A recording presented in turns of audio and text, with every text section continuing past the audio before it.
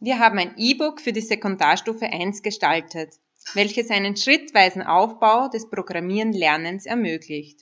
Unsere Beweggründe im Zuge unseres Hochschullehrganges und der Schulpraxis durften wir bereits viele Tools, Apps, Ideen und Inputs zum Schwerpunkt Coding und Robotik kennenlernen. Nun stellte sich für uns aber die Frage, wo beginne ich und wie kann ich das Programmieren Schritt für Schritt auf spielerische und motivierende Weise den Schülerinnen und Schülern vermitteln bzw. lehren. Unsere Ziele? Zum einen der schrittweise Aufbau vom ersten analogen Befehl bis hin zum textbasierten Programmieren, zum anderen der nahtlose Übergang der einzelnen Programmierschritte und differenziertes Lernen durch individuelles Lerntempo, Arbeiten in verschiedenen Sozialformen und das differenzierte Aufgabenangebot eben durch Hilfestellungen, Anleitungen, vertiefende weiterführende Aufgaben oder offene Aufgabenstellungen. Anhand unseres praxisorientierten E-Books wollen wir nun diesen schrittweisen Aufbau des Programmierens näher erläutern. Unser E-Book Schritt für Schritt in die Welt des Programmierens soll einen stufenweisen Aufbau und einen roten Faden für den Coding- und Robotikunterricht bieten. Wichtig war uns hierbei, dass die Schülerinnen und Schüler selbstständig und vor allem in ihrem eigenen Tempo und Leistungsniveau arbeiten können. Dazu haben wir auf Differenzierung in den verschiedenen Bereichen großen Wert gelegt. Das E-Book bietet einen stufenweisen Aufbau von Unplugged über symbolbasiert und blockbasiert bis hin zum textbasierten Programmieren. Unser E-Book startet ganz klassisch und allen bekannt mit dem blinden Roboter. Eine kurze Erklärung oder auch eine Einführung durch die Lehrkraft reichen aus und die Kinder können bereits aktiv werden. Zur Umsetzung sind lediglich Tücher zum Augenverbinden notwendig.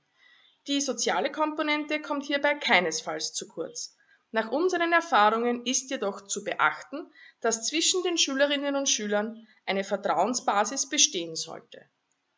Differenzierung ist hierbei durch den Umfang der verschiedenen Befehle oder beispielsweise Hindernissen möglich. Nicht vergessen, die Kinder müssen alle Codes aufschreiben und im Anschluss sollen auch immer die Positionen, die Rollen getauscht werden. Ebenso wohlbekannt ist die nächste Stufe, die Bibots.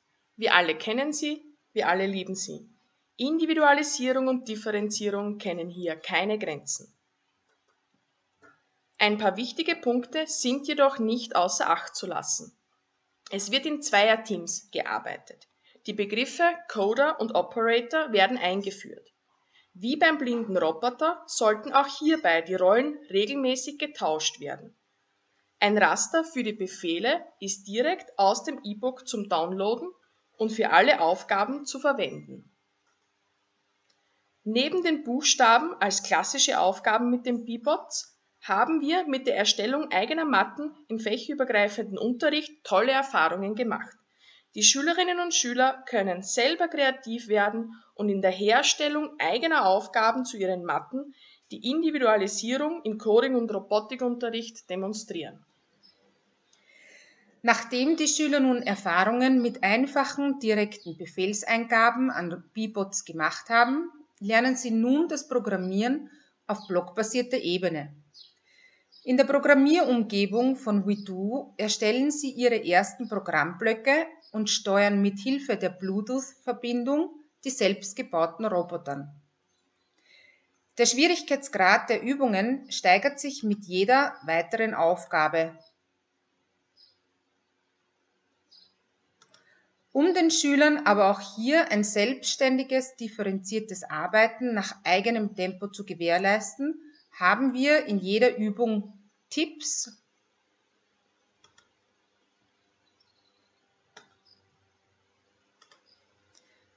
Sowie Lösungen. Und auch erweiterte Aufgaben, Forscheraufgaben eingebaut. Auch Code.org bietet eine Programmierumgebung, in welcher Schüler auf blockbasierter und auch bereits textbasierter Ebene Programme erstellen und am Online-Simulator wiedergeben können.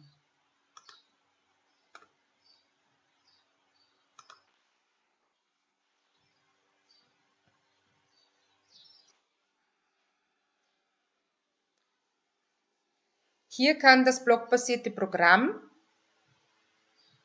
in JavaScript angezeigt werden. Es bietet somit einen nahtlosen Übergang zum textbasierten Programmieren. Anhand dieser Übung kommen die Schüler mit der ersten richtigen Programmiersprache, sprich JavaScript, in Kontakt und lernen bereits erste Programmierbefehle in dieser Sprache kennen.